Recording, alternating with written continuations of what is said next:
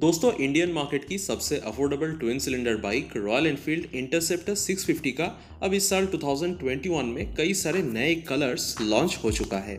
अब दोस्तों, यहाँ पे आपको मैं एक बात बता दूँ कि लगभग यहाँ पे पाँच नए नए कलर्स इंटरसेप्टर और जी टी सिक्स फिफ्टी में लॉन्च हुआ है और आज मैं आप लोगों को ये सनसेट स्ट्रिप कलर दिखाऊँगा, जिसमें कि आप दोस्तों देख पाएँगे कि टैंक जो है यहाँ पे रेड और ब्लैक कलर की यहाँ पे डुअल टोन टैंक दिया गया है।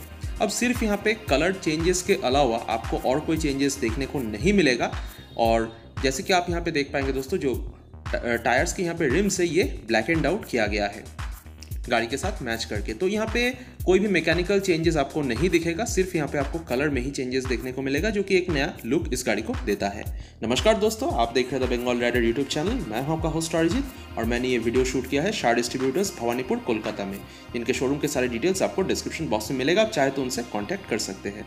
अब इंटरसेप्टर और जी इन दोनों का ही तीन अलग अलग वेरिएंट्स आता है, एक स्टैंडर्ड एक कस्टम और एक क्रोम ऑन रोड प्राइस लगभग यहाँ पे तीन लाख सत्रह हज़ार से लेकर तीन लाख चालीस हज़ार तक जाता है डिपेंडिंग आप कौन सा यहाँ पे वेरिएंट ले। अब दोस्तों, यहाँ पे 2021 में जैसे कि मैंने आपको बताया, यहाँ पे टैंक को एक अलग सा कलर में यहाँ पे दिया गया है रॉयल इनफील्ड की यहाँ पे आपको नॉर्मल स्टिकरिंग मिल जाएगा थ्री वगैरह नहीं मिलेगा। येलो कलर की यहाँ पे ट्रीटमेंट किया गया है और रेड और मेनली यहाँ पे ब्लैक कलर में आपको ये टैंक मिलता है।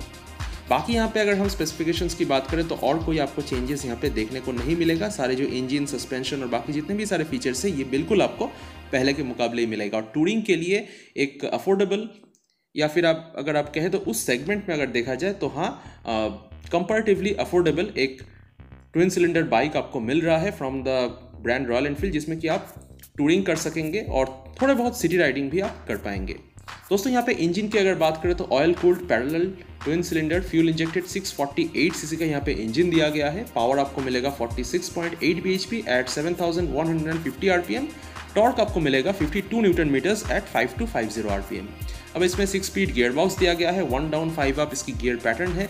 स्लीपर क्लच आता है, जो कि एक बहुत ही अच्छी बात है, और steel tubular double cradle frame पर यह गाड़ी बना हुआ है। अब इसमें कोई आ, सिर्फ़ आपको सेल्फ स्टार्ट ही मिलेगा किक स्टार्ट नहीं मिलेगा और इसमें सिर्फ़ आपको साइड स्टैंड आता है मेन स्टैंड इसमें नहीं आता है। और दोस्तों यहाँ पे इंजन कंपार्टमेंट भी आप देख पाएँगे।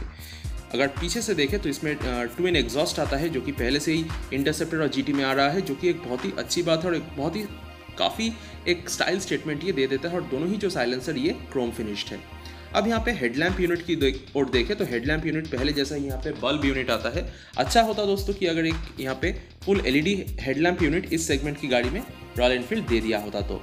इंडिकेटर्स की बात करें तो इंडिकेटर्स ट्रेडिशनल ऑरेंज कलर के इंडिकेटर्स है और फिक्स टाइप के हैं और पीछे भी आपको नॉर्मल बल्ब टाइप बैकलैम्प मिलेगा, जो कि अगर एलईडी होता तो मेरे ख्याल से अच्छा होता। Regarding the bike segment and its price अब इसमें काफ़ी सारा क्रोम गाड़ी के कई सारे पार्ट्स में मिल जाएगा, जैसे कि इंडिकेटर्स और मिरर्स में। और जो लाइट है दोस्तों लाइट की थ्रो काफ़ी अच्छी है और एक छोटा सा एलईडी पार्किंग बल्ब आपको मिलता है। अब इस पे हैंडल बार को देखें तो हैंडल बार के बीच से एक रॉड गया है। क्रोम टाइप हैंडल बार यहाँ पे दिया गया है। स्विच गियर क्वालिटी बहुत ही अच्छी है और आपको इसमें सारे नेसेसरी स्विच गियर्स मिल जाएगा स्लीपर क्लच मिलेगा और एक कंफर्टेबल अपराइट पोजीशन आप इस गाड़ी में, उसमें बैठकर चला पाएँगे। एक आरामदायक राइडिंग पोजीशन आपको इसमें मिल जाता है। और दोस्तों, यहाँ पे स्ट्रेट हैंडल बार का यूज़ किया गया है। इसकी चाबी आप देख पाएँगे नॉर्मल सा यहाँ पे की दिया गया है।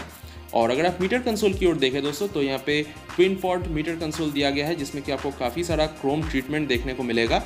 और इसमें आप स्पीड देख पाएँगे आरपीएम चेक कर पाएँगे। माइल्स और किलोमीटर्स दोनों में ही आप इसमें जैसे कि आप देख पाएँगे कि यहाँ पे ओडोमीटर आप माइल्स और किलोमीटर्स दोनों में ही देख पाएँगे। फ्यूल गेज मिल जाएगा और सारे जो नेसेसरी टेल टेल लाइट से ही आपको मिलेगा जैसे कि low battery indicator low engine oil indicator side indicators engine malfunction light और एबीएस इंडिकेटर वगैरह आपको यहाँ पे देखने को मिल जाएगा। तो ओवरऑल यहाँ पे एक plain and simple meter console design दिया गया है।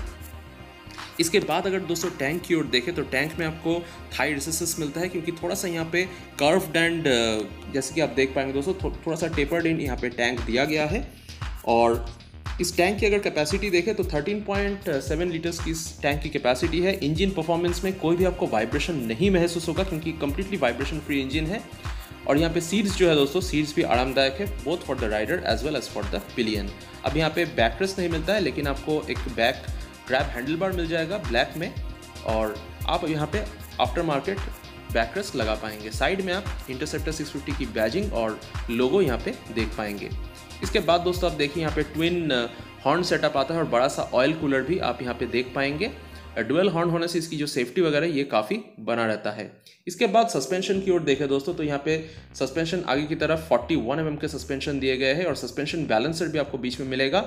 बेलोस दिया गया है और बेलोस भी यहाँ पे काफ़ी अच्छी है ऑयल सील प्रोटेक्ट करता है और पीछे आपको इन्वर्टेड ट्विन सस्पेंशन मिलेगा विथ गैस कैनिस्टर्स तो सस्पेंशन इसकी अच्छी है। टायर्स की ओर देखें दोस्तों तो यहाँ पे ट्यूब टाइप टायर्स यूज़ किया गया है स्पोक व्हील्स के साथ, और दोनों ही तरफ़ आपको 18 इंच वाले टायर्स मिल जाएँगे। आगे की तरफ़ 100 बाई 90 सेक्शन का टायर मिलेगा। ब्रेक्स में आपको डुअल चैनल एबीएस मिलता है थ्री ट्वेंटी का फ्रंट डिस्क मिलता है। अब दोस्तों, यहाँ पे टायर रिम्स जो है, ये ब्लैक है, लेकिन स्पोक जो है, ये यहाँ पे क्रोम दिया गया है, जो कि एक अच्छी बात है, क्योंकि यहाँ पे ब्लैक रिम होने के कारण रस्टिंग प्रॉब्लम उतना ज़्यादा नहीं आएगा। पीछे 130 थर्टी बाई सेवेंटी सेक्शन का आपको टायर मिलता है नॉर्मल टायर है ट्यूब यहाँ पे रेडियल टायर नहीं है, और पीछे आपको जो डिस्क मिलता है, ये 240 फोर्टी mm का है। एक एक बात है दोस्तों कि पिरेली की जगह इस वाले मॉडल में आपको सी के टायर्स मिलेगा, जो कि मेरे ख्याल से उतना अच्छा नहीं लगा है, क्योंकि अगर पिरेली के टायर्स दे दिया होता तो और भी अच्छा होता। 202 केजी केजी की इसकी टोटल वेट है 174 सेवेंटी का ग्राउंड क्लियरेंस है, और यहाँ पे लगभग आप 22 से लेकर 24 25 के तक माइलेज निकाल पाएँगे, अगर आप एक डिसेंट राइडिंग कंडीशन में राइड करते हैं और सिटी और हाईवे मिला के मैं ये अप्रॉक्सीमेट माइलेज कह रहा हूँ। टॉप स्पीड यहाँ पे लगभग 170 किलोमीटर्स के आसपास है। तो दोस्तों, आपको ये जो माइनर सा कॉस्मेटिक अपडेट है, ये कैसा लगा? और ये ओवरऑल गाड़ी कैसी लगी? आप हमारे साथ ज़रूर शेयर कीजिए। ओवरऑल इस गाड़ी की रीसेल वैल्यू तो अच्छी है, लेकिन इसकी जो अफोर्डेबिलिटी है, वो थोड़ा सा हायर सेगमेंट में रहता है। इसकी अफोर्डेबिलिटी कॉस्ट थोड़ा सा हायर रहता है। तो दोस्तों, आपको ये वीडियो कैसा लगा? ये गाड़ी और ये कलर कैसी लगी? ज़रूर बताइए। शेयर कीजिए इस वीडियो को अपने दोस्तों के साथ। आगे फिर मिलेंगे। Thank you and always ride safe